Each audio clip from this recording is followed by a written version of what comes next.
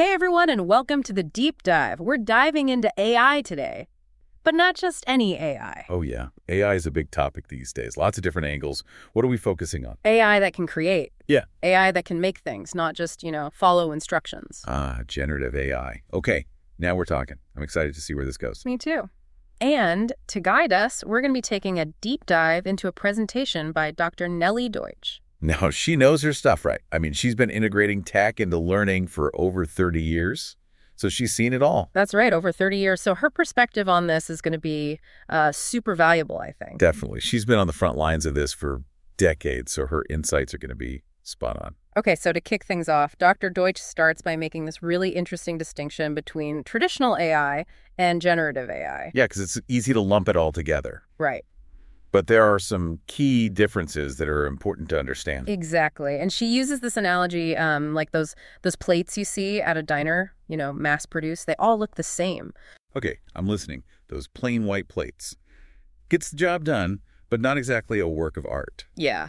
So she's saying that traditional AI is kind of like that. It's standardized. And generative AI is more like, uh, maybe like a handmade piece of pottery or something, unique and expressive. Exactly. It's about creativity and personalized expression. Like, you know, think about an artist crafting a one-of-a-kind piece. Ah, I see where she's going with this. So generative AI is about creating something new, not just, you know, following a set of rules. Right. It's AI that can think outside the box, come up with new ideas and solutions. Which, honestly, is kind of mind-blowing when you think about it. We're talking about machines that can be creative. I know, right? It's wild.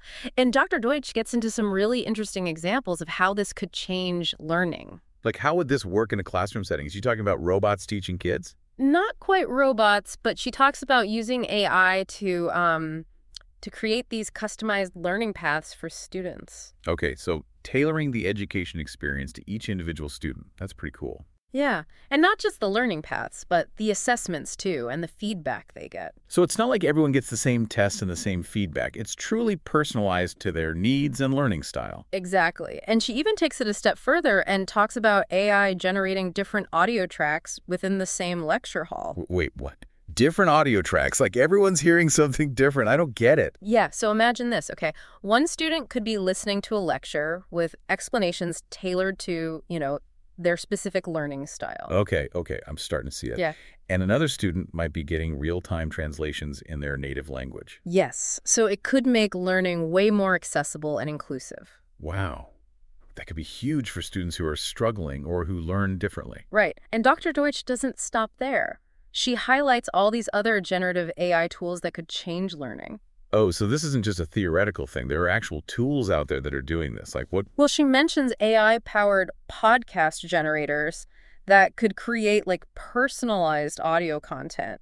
No way. Yeah. Like a podcast just for me based on what I want to learn. That's incredible. I know, right? And then for visual learners, she talks about image generators that can bring concepts to life. Ah, so instead of just reading about history, you could see it, almost like you were there. Yeah, like that. And even create art based on what they're learning. That is so cool. It would make learning so much more engaging. And she goes on to talk about AI for language learning, research, storytelling, and even like um personalized exercises. So we're talking about a whole suite of AI tools that can cater to different learning styles and needs. That's impressive. It is. And it really gets you thinking about the potential of generative AI to make education more engaging and effective for all students. I mean, it sounds like a dream come true, right? Mhm. But there's got to be some downsides too. Nothing's perfect. You're right. It can't all be sunshine and roses. And Dr. Deutsch does acknowledge some of the challenges that come with all of this. Like what? What are some of the things we need to be cautious about? Well, for one, teachers are going to need a lot of training and support to, you know, to use these tools effectively. Right, because you can't just hand someone a fancy new tool and expect them to know what to do with it. Exactly. And then there's the issue of the digital divide. Not all students have equal access to technology, so that's a big hurdle. That's a really important point.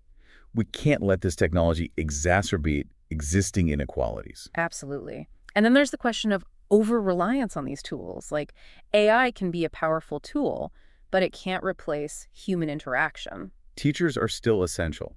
I mean, they're the ones who guide students, who foster critical thinking, who create that supportive learning environment. Totally. And they inspire a love of learning, which is something AI just can't do. So it's about finding the right balance, using AI to enhance education, but not letting it take over. Exactly. And that's something we'll need to be mindful of as we move forward. We'll talk more about that in the next part of our deep dive. Finding that balance, that's the key. And, you know, it's interesting because Dr. Deutsch also talks about this concept of blended learning. Okay, blended learning. So like mixing in-person instruction with digital stuff. Exactly, using both in-person and online. And she sees generative AI as a way to really, like, supercharge this blended approach. Okay, I'm intrigued. How so? Well, imagine a classroom where students are working on, you know, those personalized learning paths we talked about, but they still have a teacher there to guide them. Uh, so it's not just about replacing teachers with AI, it's about using AI to make the teacher's job even more effective. Right. And and to make the learning experience more engaging and effective for the student. I like it. It's like the best of both worlds, right? Yeah. Personalized learning, powered by AI, but still with the human touch. Exactly. And Dr. Deutsch has been doing this blended learning thing for a while, so she's got some great advice for teachers who are just starting out. Oh, perfect. Because this can all seem a bit overwhelming, right? Like, where do you even begin? Well, she says, start small. Don't try to do everything at once. Pick one AI tool. Try it out for like five minutes a day. Okay, I can handle that. Five minutes, no problem. Build it into your routine. Exactly. Baby steps. And then, you know, as you get more comfortable, you can start incorporating it more and more. Makes sense. And she also talks about the importance of professional development, right? Keeping up with all the new stuff. Yes. She recommends dedicating like 10 minutes a day to learning something new about AI in education. 10 minutes a day. Okay, I can definitely commit to that. It all adds up over time. Right. And it doesn't have to be this big formal thing. Just read an article, watch a video, chat with a colleague. That's a good point. Sometimes the best learning happens informally, just by sharing ideas and experiences with others. Exactly.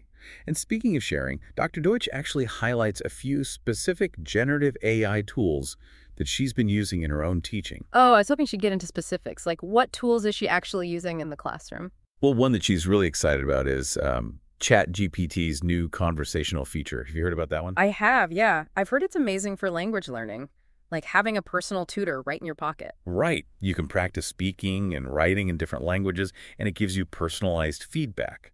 That's incredible. It would have been a game changer when I was learning Spanish in high school. Yeah. So much easier than those boring textbooks. That's right. And for those of us who aren't language whizzes, she talks about these really cool literature review tools. Literature review tools. Okay, those would have been a lifesaver in college. I spent so much time in the library researching for papers. Right. But these tools can help you find the most relevant sources, summarize key findings, all that good stuff. Ah, so instead of getting lost in a sea of information, students can focus on actually analyzing and understanding it. Precisely. And for those visual learners out there, Dr. Deutsch is a big fan of image generators. Image generators. Okay, now those sound fun. What can you do with those? Well, she uses them to help students visualize complex concepts, or to explore different cultures, or even to create their own artwork. So it's not just about consuming information, it's about using AI to actually create something new and exciting. Exactly. And she also mentions story generators, which could be great for developing those creative writing skills. Ah, that would be perfect for elementary school kids. They love telling stories. Absolutely. And she talks about these activity generators that can create personalized exercises and assessments for each student. Oh, that's smart. It makes sure everyone's working at the right level and getting the challenge they need. Right. And then there are these AI-powered bots that can provide personalized feedback 24-7. It's like having a virtual study buddy that's always available. Pretty cool. Right. And to keep all of this organized, Dr. Deutsch uses something called Moodle, which is a learning management system. So it's like a central hub where teachers can put all these AI-powered resources and activities for their students. Exactly. It's like having a digital learning ecosystem, personalized for each student. Pretty amazing. It is. But with all this focus on AI, it's easy to forget about the human element. What does Dr. Deutsch say about the role of the teacher in all of this? Well, she's very clear that teachers are still absolutely essential, even with all these fancy AI tools. Phew. I was starting to worry teachers might become obsolete in this AI-powered future. Not a chance. She actually argues that the teacher's role becomes even more important. I see what you mean. The teacher becomes like a guide, helping students navigate this new world of personalized learning. Right. And they're still the ones who foster critical thinking, creativity, and all those important human skills that AI can't replicate. So it's a partnership, really. Teachers and AI working together to create the best possible learning experience for each student. Exactly. And that takes us back to the importance of training and professional development for teachers. So they can learn how to use these tools effectively and understand the potential benefits and challenges. Right. Dr. Deutsch even suggests checking the tools carefully before recommending them to students and colleagues. Okay, that makes sense. There are so many tools out there, it's hard to know which ones are worth your time. And she also recommends taking some free online courses to stay up to date on the latest developments in AI in education. Always be learning, right? Especially in a field that's changing so rapidly. Exactly. And she reminds us to watch YouTube videos by actual educators, not just by companies trying to sell you something. Good point. You got to be discerning about your sources these days. There's a lot of hype out there. So true. So yeah, she's got a lot of great practical advice for teachers who are interested in incorporating AI into their teaching. This is all super helpful, and I know she has a lot of experience with the whole blended learning approach. Does she talk about any of the challenges that come with that? Oh, definitely. She's very honest about the fact that it's not always easy. Like what what are some of the things that teachers should be prepared for? Well, one of the big ones is the lack of transparency around a lot of these AI tools. We don't always know how they work, where their data comes from, or even how they make decisions. That's a little unsettling, actually, especially when we're talking about tools that are being used to educate our kids. Right. It raises some important questions about accountability and trust. Definitely. We need to be having serious conversations about these ethical considerations as AI becomes more prevalent in education. Absolutely. And then there's the issue of teacher overload. It can be really time consuming to integrate these new tools effectively. Teachers already have so much on their plates, we don't want to add to their burden. Exactly. And then there's the need for technical support, both for teachers and students. Oh, yeah, because things are going to go wrong. It's inevitable with technology. It happens. And then, of course, there are the privacy concerns, especially around student data. That's a big one. We need to make sure student data is being protected and used responsibly. Absolutely. So there are definitely some challenges to consider, but Dr. Deutsch also sees a lot of opportunities in blended learning, especially when you add AI to the mix. Okay, I'm curious, what kind of opportunities? Well, for one, it can make learning more flexible and accessible. Students can learn from anywhere at their own pace. Ah, so it breaks down those barriers of time and location? That's huge. Right. And it can make learning more personalized and engaging with those AI tutors and personalized feedback systems we talked about. It's like having a customized learning experience tailored to your specific needs. Exactly. And she also talks about the potential for increased collaboration and connection, even in an online setting. I guess that makes sense. Uh, with the right tools, you can create a real sense of community, even if everyone's learning remotely. Exactly. And she sees a lot of potential for using AI to improve communication and feedback between teachers and students. Like, how so? Give me an example. Well, imagine AI tools that can analyze student work and provide personalized feedback. That would free up teachers' time to focus on other things, like mentoring and curriculum development. Oh, I see. So it's not about replacing the teacher's role, but about making their time more efficient and impactful. Precisely. And she also talks about using AI to create more inclusive and equitable learning environments. Like those real-time translation tools we talked about earlier. Exactly. And things like closed captioning and other accessibility features that can benefit students with disabilities. That's so important. We need to make sure everyone has the opportunity to learn and succeed. Absolutely. And that's why it's so crucial to think critically about how we're using these tools and to be mindful of those ethical considerations we talked about earlier. It's not just about the technology itself, it's about how we use it and who benefits from it. Exactly. We need to be intentional and responsible in our approach to AI in education. Well said. Now, I know Dr. Deutsch is a big believer in reflection. Does she talk about how to incorporate reflection into these AI-enhanced learning experiences? Oh, absolutely. She even recommends a specific tool called Riff AI Bot, which asks you these thought-provoking questions to help you reflect on your learning. Oh, that's cool. I'm always looking for new ways to get my students to think critically about their own learning process. Right. And she also emphasizes the importance of creating opportunities for students to share their reflections with each other. So it's not just about individual reflection, but about building a community of learners who can learn from each other's experiences. Exactly.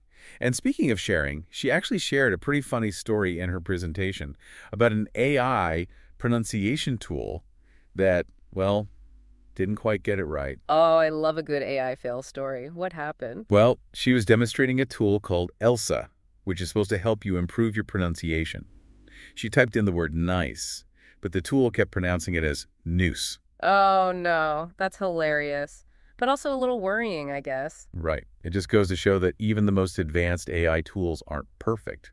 We need to be aware of their limitations. And not just assume that they're always going to be right. We still need to use our own judgment and critical thinking skills. Exactly. And she also talked about how some of these AI tools can disappear really quickly. She mentioned one called Summary that vanished almost overnight. Oh, wow. And then there's Flip, which used to be called Flipgrid, that got shut down by Microsoft after 12 years. It's a good reminder that the world of technology is constantly changing. We got to be adaptable. So it's not about finding that one perfect tool and sticking with it forever. It's about being open to new possibilities and constantly learning and evolving. Exactly. Yeah. So with all that in mind, what are your thoughts on the future of AI in education? Do you think it's really going to revolutionize the way we learn? Honestly, I think it has the potential to, but it's up to us to make sure that happens in a way that benefits everyone. I agree. It's an exciting time to be in education, that's for sure. And I can't wait to see what the future holds. Yeah, it is exciting. But it's also a little, uh, I don't know, overwhelming. Like, are we really ready for this? That's a good question. I mean, it is a huge shift. But I think the important thing is to, you know, just stay curious and be willing to experiment. That seems to be Dr. Deutsch's approach, right? Yeah. She's super enthusiastic about all of this, but she also, you know, she emphasizes the need to be cautious and thoughtful. Yeah, exactly. It's not about like jumping on every AI bandwagon that comes along. It's about really thinking about how these tools can help us achieve our learning goals. So for teachers who are listening or even parents who are, you know, thinking about how this might impact their kids' education, where do they start? Well, Dr. Deutsch has a really good suggestion. She says, start experimenting. Even if it's just, you know, five or 10 minutes a day. Small steps, right? You don't have to go all in right away. Right. And then, you know, she also talks about reflecting on your experience, like what excites you about these possibilities. What concerns you? What are the potential benefits for you or your students? And she even shares a link to this cool reflection tool called Riff AI Bot. It asks these like thought-provoking questions. Oh, interesting. I'll have to check that out. You know, one thing I've been thinking about is like, what if we personalize learning not just for students, but for teachers too? Oh, that's a good point. I hadn't even thought about that. Like, what if AI could help teachers identify their strengths and weaknesses or, you know, their preferred teaching styles? That would be amazing. It could help them become even more effective in the classroom. And maybe even help with teacher burnout, which is, you know, such a big problem these days. Yeah, totally. If AI could take some of the pressure off teachers, that'd be a huge win. It all comes back to that idea of using AI to empower both teachers and students, right? Absolutely. And I think that's a perfect way to wrap up this conversation. Yeah. So for our listeners who want to learn more, definitely check out Dr. Deutsch's presentation and the resources she shared. And don't forget to do some reflecting of your own. Think about how generative AI could change the way you learn or teach. Thanks for joining us on this deep dive into the world of generative AI. It's been a fascinating conversation. Yeah, thanks for having me. It's been a blast. And until next time, keep learning, keep exploring, and keep those questions coming.